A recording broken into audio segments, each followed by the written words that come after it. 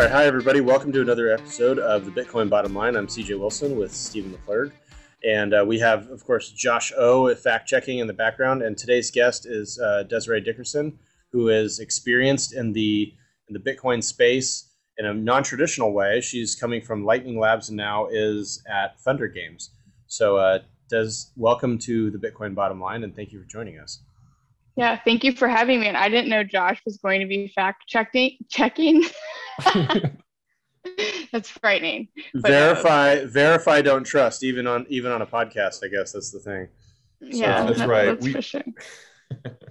so, um, so all of our backgrounds are very different, right? My background, professional sports, small business owner. Now I'm a Bitcoin hodler and a podcaster, just like everybody else.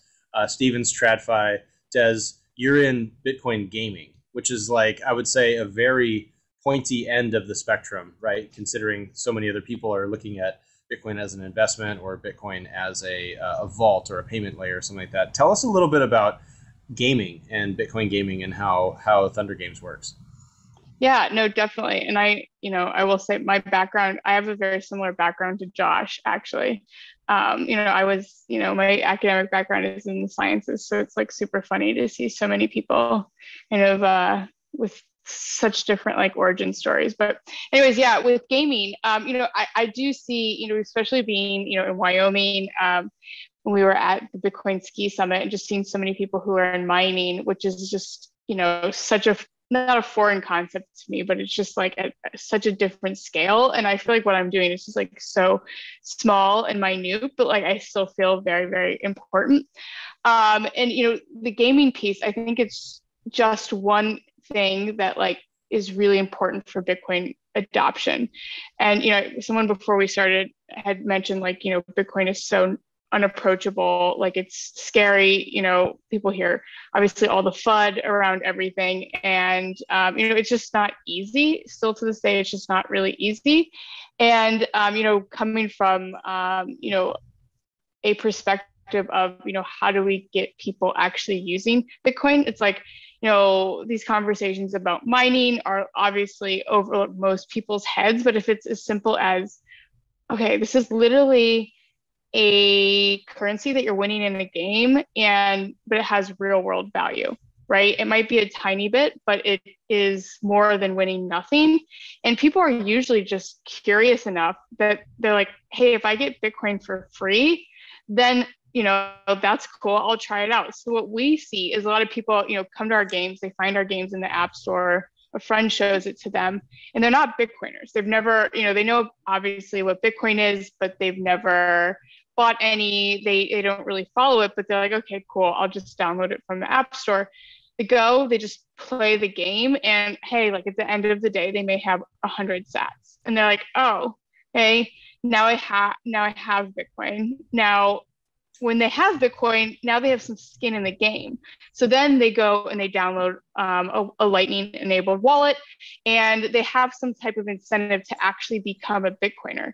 So, so many of our users, what we hear all the time is like, this is their first introduction to Bitcoin. And as soon as they had those sats, they were like, okay, now I need to learn more because I have it. So rather than, you know, expecting people to just come to Bitcoin and be like, yay, I want to be self-sovereign and, you know, out of like you know most people don't have that need or that necessity. It's you know they just don't really have the time or care that much. But if they already have it in their hands it's like okay it's like if someone handed you like a puppy and like ran you'd be like uh, okay i need to like take care of this puppy and feed it and at least like find it a new home right? So once someone hands it to you then you're really, really incentivized to do something with it. And it usually leads to like people downloading a wallet. It's usually a custodial wallet, but you know, our kind of flow through the games, we try and introduce people to like how to be totally self-sovereign and, you know, eventually like go totally non-custodial. So we're really about being at the beginning of everyone's Bitcoin journey um, and really reaching like new audiences. Mobile games are obviously like big with so many different demographics outside of like what traditional games are. So I think there's just a ton of potential for like reaching new people and making those new people Bitcoiners. Well, one of the things that I found out with, so I have children and uh, I gave them Bitcoin as part of their allowance, and, and, and they're required to do things for their allowance. I don't just give them money. You know, they they have to actually work. You know, mow the yard, uh, pick up the trash, sweep the porch, things like that. And when I gave it to them as a portion of their allowance, I don't think they appreciated it as much, even though they were earning it. Um, until one of my one of my children, he had a bunch of money and he was like, "Hey, Dad, I got six hundred dollars. Um, I want to put three hundred dollars into Legos and three hundred dollars into Bitcoin." And I was like, "Okay, cool." So he we, we we we took it, we bought Bitcoin, it doubled, and he's like, "Dude, I'm I'm, I'm so like he, you know, just thought he was like the like the coolest trader of all time. You know, playing with his Legos, got all of his money back, has Bitcoin, and then every time he gets birthday money now, he goes, "Here, here's some here's some money, Dad. Go buy me some Bitcoin." He just kind of like throws money at me. Um, so I, I think there's a difference between giving away Bitcoin, earning it through your allowance because you never see it anyway, but then actually putting your own money into it. So how do you guys how do you guys differentiate that within within a game? And and and and do you think that there's different levels of appreciation based on what you're seeing as feedback within the game? Yeah, I mean, I think that's you know you know actually having to you know put in some of your own work or some of your own funds obviously yeah it does you know incentivize people to like really care about um, the asset. But um, you know that's not something i mean i think that's really interesting. Right now um, you know we are just doing you know you are playing to earn. Um, you can we are working on setting it up where you can buy in-game assets with bitcoin. Um, so that's obviously there's so much friction with that because you have to go to a different website. Um, you can't just do the whole like flow through the App Store and Google Play. So there is friction there. Um, that like they've opened up the regulations basically so, to allow you to go to another website, purchase something with cryptocurrency, and then the asset or the in-game asset shows up in the game. Um, I mean, that's something we're experimenting with now. Like, but who knows, like how much demand there will be. Um, yeah, I mean, I think that's like an interesting, you know, problem. Like, we aren't, you know, I don't foresee like a ton of our users doing that, but you never know. Um, I I think that's just like one part of it that we're not really focusing on right now is you know having people like put their own money on the line in order to kind of have that side of the skin in the game coin i, I guess i would say. Yeah. No, yeah the thing the thing that's interesting for me is like you know i was a super heavy gamer as a kid. And as i as i got older um, you know, the goal was more instead of like beating the game itself, it was more like beating the other people at the game. And I think we've seen like network gaming now grow so much in the last 15 or 20 years.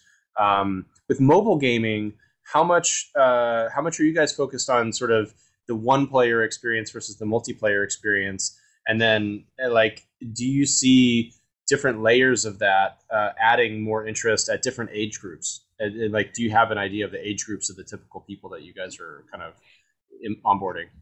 Yeah, those are great questions. Um, so one, right now we are focused. Right now, our games are, as they stand, all single player, but um, most of them, um, it, with further updates, will have like multiplayer, like um, P2P type of games, um, and or aspects of the games. And you know that's something that we really see a lot of engagement with is these ca- what we call casual esports. Um, you know, one thing that we hear so much in the, the community of like you know gaming and just esports in general is you know it is like I mean you get it CJ like with sports it's like there's only the elite few who like make money and compete at that level um, but you know having a asset that's like so divisible allows like for more equitable play in these esports events. So we host one like an event like every weekend if not every other weekend and people just come and play. And right now it's just leaderboards like who is winning. And we have tons and tons of people join. And they absolutely love it. We have larger like prize pools obviously for the top 10 but at the end of the day pretty much everyone is winning whether that be like one Satoshi. Literally, we give out one Satoshi as prizes and, and people love it. That's actually our top prize. There's like a badge for like one sat gang. They like love it. Um, so um, yeah, that is like one thing that we're really thinking about is like the whole multiplayer thing. Um, I think uh, you know if you're familiar with the company Skillz, who does a lot of publishing and they do um, a ton of kind of casual esports or you know competitive gaming within their kind of app ecosystem. And um, that's something that we're playing around with too. One thing that i'm like super super excited about is wagering.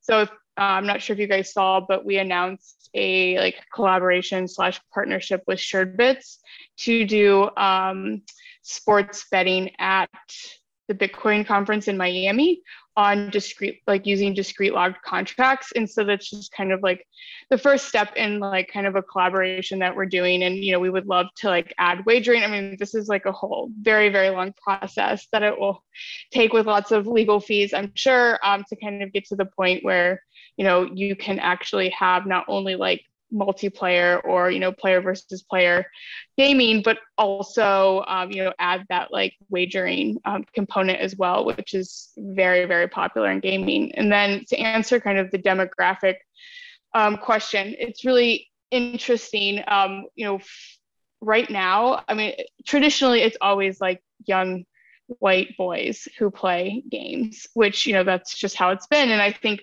mobile has really changed what those demographics look like. Right now, the one of the fastest growing demographics in mobile gaming is women between the ages of 35 and 50 which um, you know is surprising but like think about how many people you know who are playing like candy crush and like these detective games and merge mansions um, you know like my mom is playing um, is playing mobile games like even before i started this job and so um, you know i think it's really interesting to see like that like you know those people who are playing and then also just emerging markets. Like Garena's free fire um, is just hugely pop- popular in latin america especially um, el salvador.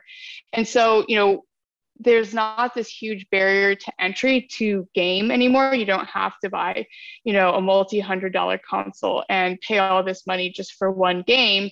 Um, you can just really have a smartphone and play almost any game in in the app store. And so that brings that brings these games to a lot more demographics. So um, you know we are seeing right now we have a ton of bitcoiners um, very clearly who are playing our games but our target target demographic for um, our last two games were you know between the ages i would say of you know like 20 30 ish and um, more kind of female um, leaning, but you know that's just like what we're seeing right now. Um, and I think that you know that age gro- group is like really good for us because it does overlap with like some interest in Bitcoin and whatnot. But yeah, it, it's really interesting. And I think you know if we can use mobile games to reach those new demographics, then um, you know that's who we also want to bring Bitcoin to. We don't want to just bring Bitcoin to all the same people. So if we can reach these emerging markets and,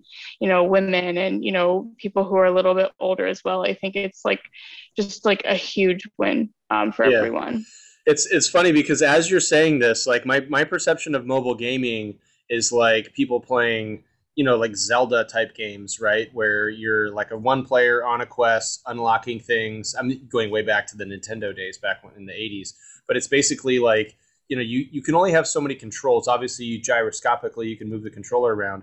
But then i think about all the time that i spent playing words with friends all the time people sp- spent playing wordle people do chess you know things like that. So there's like all these layers to games that some of them are let's say demographically going to be more pausable you know? And what i mean by that is like literally you can pause it. So if you're if you're a mom and you're at home and you put your kid to bed and you're like cool now i can play candy crush or whatever for 30 minutes the the the mom version, the stay at home mom version of that mobile gaming through through you guys, it can be like a completely fascinating demographic that has way more potential and was way easier to onboard people than saying, "Oh, hey, go to this exchange like Binance or something or Kraken and like try to buy Bitcoin, right? And like watch the charts at the 1 minute level go go crazy and then try to buy and sell." I think it's it's such a cooler way of onboarding people and sort of like a slower like lean into it to say, hey, check it out. You could win this game, win a couple of sats. And people are like, what are sats? And you're like, oh, here you go. And then click mm-hmm. on this link and we'll explain this. And then click on this other link. And then here's a story from whoever. I think this is how we get the boomers, honestly. Like, the boomers need this. Like, we get crossword puzzles on THNDR games, and like all of a sudden, you know, like, can you solve these crossword puzzles or pay, play like Boggle or whatever these like sort of like, you know, boomer games? And then all of a sudden, I, am totally bullish now. This is like got me all fired. I'm like, ting- I'm tingling now because I hadn't really thought about it before because it's always been like I played Halo and shooting games and racing games and stuff that you did need a controller, you did need a big TV because you got to zoom in and no scope people on like Fortnite or whatever. But now I'm sitting here thinking, damn, I could be, I could have been playing Words with Friends for money this whole time. You know, it's crazy. And I would have smashed people. It would have been great. Well, that's the thing too. You know, you know, the, the, the, kids nowadays they call it the grind, right? It used to be called yeah. back in the days of World of Warcraft.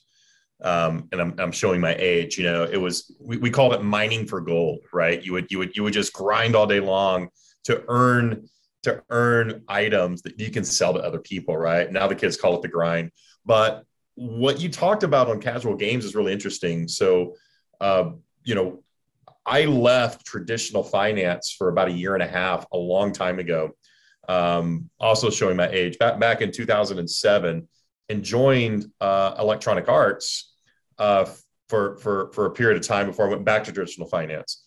And one of the interesting things that was happening during that period of time it was uh, it was 07 through a little bit of 08 is they noticed that uh, you know the casual gaming market was this massive market. So they did a couple of acquisitions. One was uh, Pogo, if you remember remember that kind of online casual game company, and they even created a whole casual game unit. So you had EA Sports, you had EA Casual, and at that period of time, the highest grossing game of all time was Sims, which was which was also an EA game, and and so so they saw that that trend beginning to happen in, in casual and now today it's massive just like you said. But if you can get you know if, if you can get boomers to to just grind on cross, crossroad puzzles to earn bitcoin um, i mean talk about talk about mass adoption. Uh, that's a that's a fantastic reward system. We're talking about mass adoption. That's what this is because it's like mass adoption. Yeah like the typical thing is like you go to onboard somebody and you're like hey read this 300 page book right? Read about how the money system is broken. Hey, read about this thing. Watch this video from you know Saylor and Ross Stevens talking about like graduate level economics that that to be honest with you, most people don't get, which is why they. I mean, frankly, this is. I don't hope. I don't want to be too partisan, but the reason why the politicians don't get a lot of things and why they keep screwing things up is because we don't get it, so we vote them in. I mean, that's that's what it comes down to. So whereas like through gaming, it's such a softer like gradual thing and, and, to have sats as a standard really starting at that bottom of divisibility and saying okay we're going to take all the way down to the bottom. Instead of 0.0000 whatever it's going to be like hey you just earned 14 sats like congratulations because you speed played this level or you did this this wordle really fast or something like that. I just think that i've been thinking about mobile gaming all along and i just want to admit it here on to all of our audience. I, I really i mean I will jump in there with you because here's the thing. I did not like mobile games. Like to be honest, like I still prefer to play my Switch. And that's just like my style of game and you know, that's fine, but like when I started looking, when I was considering this, I was like, okay, mobile games, really? Like, I played Insane Aquarium. Like, that was the only game I really liked. And then I like looked into it. It was like 60% of the entire gaming market is mobile games and it's only growing. So it's like like you said, if this is how we can reach mass adoption, I think it's I think one of the most popular games in the app store right now, like pretty pretty high, is solitaire, which is like and we all used to play that on our computer, right? And so it's like, can, should I download this solitaire game that is just whatever? And you watch ads and you do the thing, and sure, you get some like relaxation, you get like the pure joy of play out of it. But if you can do that same exact thing, but win Bitcoin, like what are you going to do? Right. It's like even if you don't care about Bitcoin, even if you like hate Bitcoin, why would you just not try that? So I mean, I think it's just like such an easy, an easy thing for people to do rather than being like, okay, let me go like download the Coinbase app, sell my soul, sacrifice my firstborn and then I get some Bitcoin. Like, you know what I'm saying? Like, yeah, yeah. I don't know. So and sort through yeah. the field, sort through the field of toxicity on on Bitcoin Twitter and all that other stuff, and then figure out. Yeah, it's just it, it's just funny. That's just really funny. I guess the thing is too, like you know, sports gaming is a big deal, right? Uh, as we've seen over the last couple years. They even have. I was I was at a barbecue place locally the other day. I mean, they're eating. You know, I'm on my carnivore diet. I'm eating my you know, my brisket, my tri-tip, and my ribs or whatever for lunch. And I look up, and ESPN has a whole show on sports betting, a whole show talking about odds making. Oh, hey, what are the odds that this guy wins the American League MVP? What are the odds that this guy scores 30 points? What are the odds that this guy makes more than three three pointers in a game? And they're going through this with all these different hosts and all these different sports and all this stuff. And I'm sitting there thinking, this is this is like not the same as it was 10 years ago, right? Like we've really evolved and now the the I would say the embracing of sports betting uh, it nationally and obviously internationally, but really yeah, as Americans nationally has been this really big transition in sports mm-hmm. to the point that it's on ESPN broad daylight at like two o'clock in the afternoon. So I think like I think the question is for me because a lot of people bet on football, they play fantasy football, stuff like that. Um, at what dollar value does it become you know like the high stake the stakes crank up a little bit and then it kind of has diminishing returns. Because uh, you would think of like these people that are like sports bettors or like poker players or whatever and they might be like maybe irresponsible with the amount of money that they're wagering or whatever. So i guess with sats you can kind of work your way into it and then do you guys see that there's a sort of like a regulatory thing or something like that where the stakes get high enough and then you have to get new licenses or something? This how does that work? Yeah i'm like navigating a lot of this from the beginning because one i am not personally really into sports betting at all and i don't even gamble when i go to vegas i don't find it fun but my father and my whole entire family are like the craziest sports bettors of all time. I don't know what they're talking about. They're always screaming and they're just so passionate about it. And so I, you know, being at home, I'm from Ohio. So like my dad's like betting on the Browns and I'm like, literally why? And he, I'm just like, there's just so much demand for this weird sports betting stuff. So I started learning more about it and I was like, you're paying what? You're literally paying what to these like bookies? I was like, this was like 10% on both sides. I was like, that is absolutely insane. And so, and when I started hearing about like what, um, Chris at SuredBits was was talking about was like, oh my God, like people are all, you know, there's a growing demand for um, you know, sports betting and esports. And I was like, why would you just not do this on like Bitcoin or virtual currency for virtual gaming? And then you totally undercut, like there's no real need for a bookie. Of course you need an Oracle, but like you can totally, you know, reduce those costs everyone's going to come to it. And then again yeah like everyone can participate. Like you can um, you know at the conference we have just we do have like a max amount which is like 100000 sats just because the tech is still very new. But it's like yeah i mean you could wager 10 sats.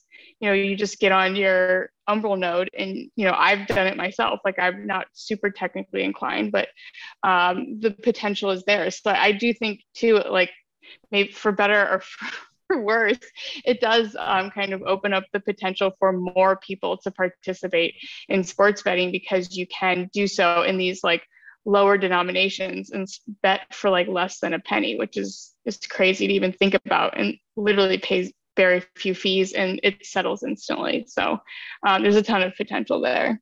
That's, that's yeah, I think I think you have to kind of differentiate between like what's kid friendly mobile gaming and what's adult friendly mobile gaming, right?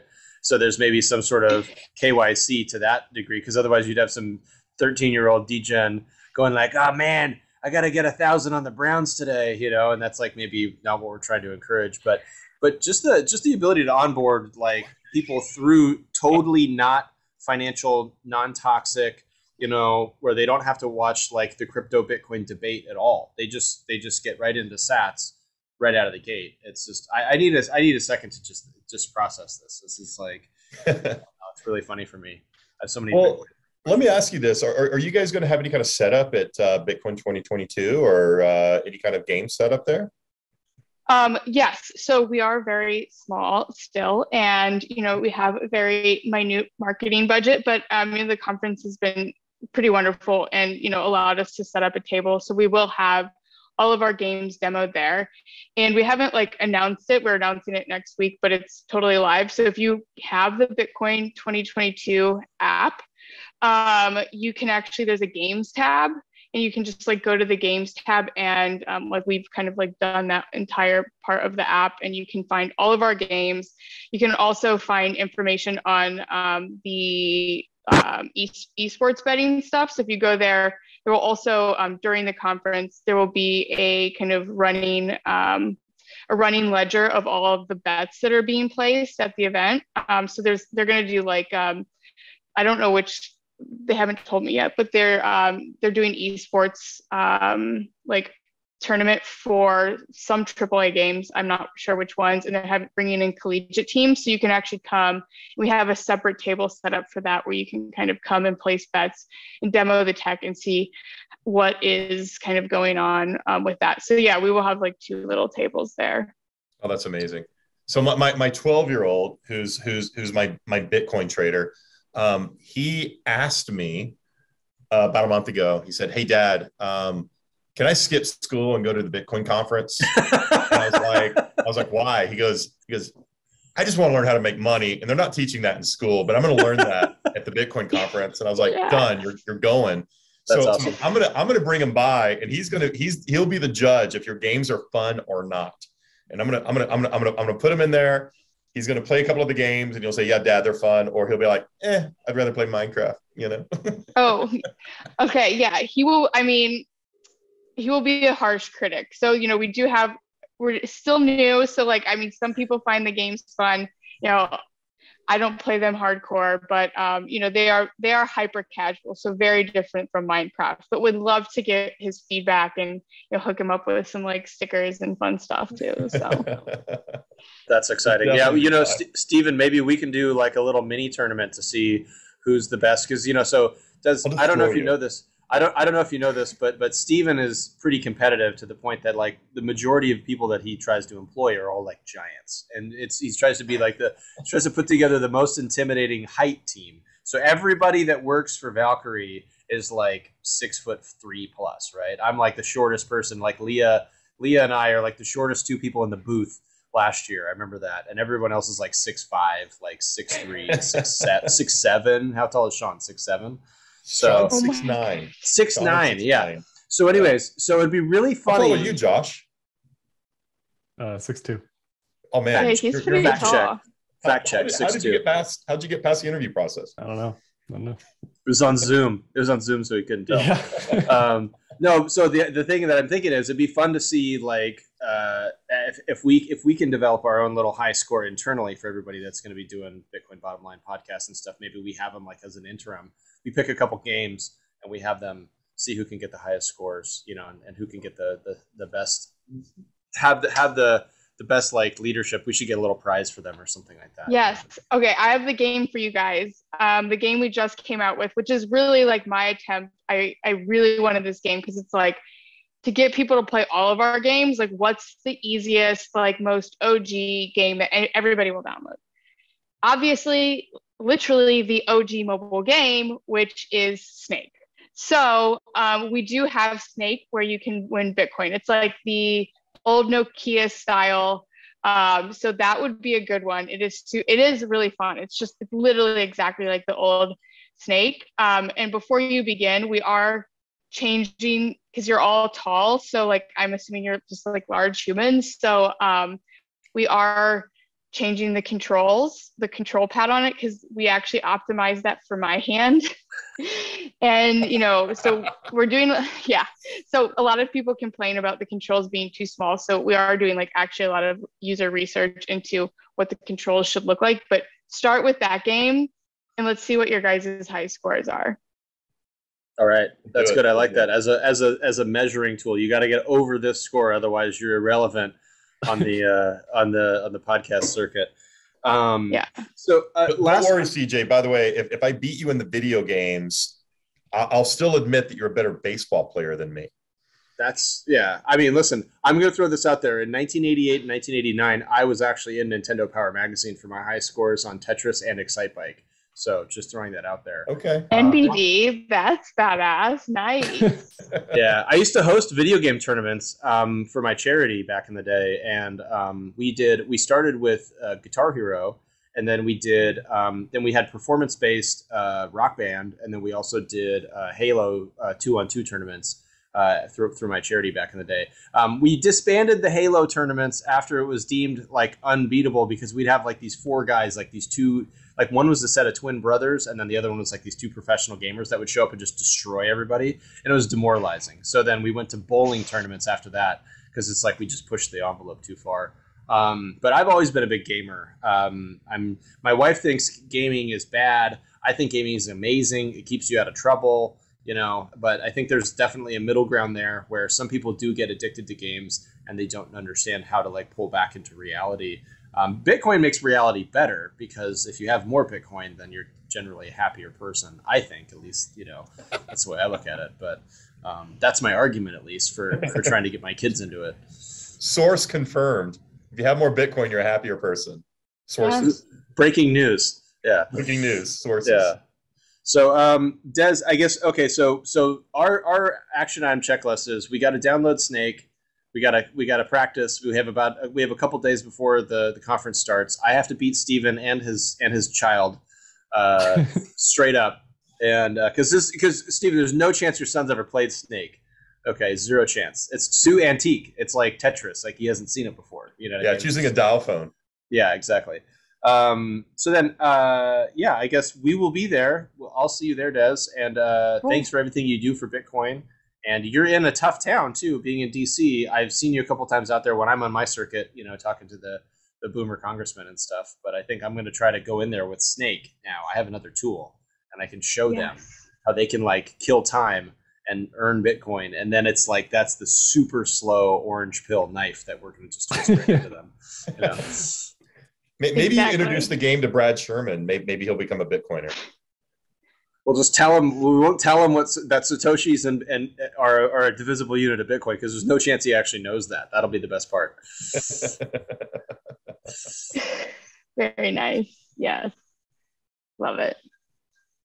Cool. Awesome. well, uh, thanks for joining us on the bitcoin bottom line. I think that about wraps it up. We will be uh, doing more research as we always do and uh, Josh, uh, keep fact checking us from the background. And even though you're not six foot six like Steven is, we're still, I'm still, you're still taller than me. I'm only six one. So there you go. All right. See everybody in Miami. Awesome.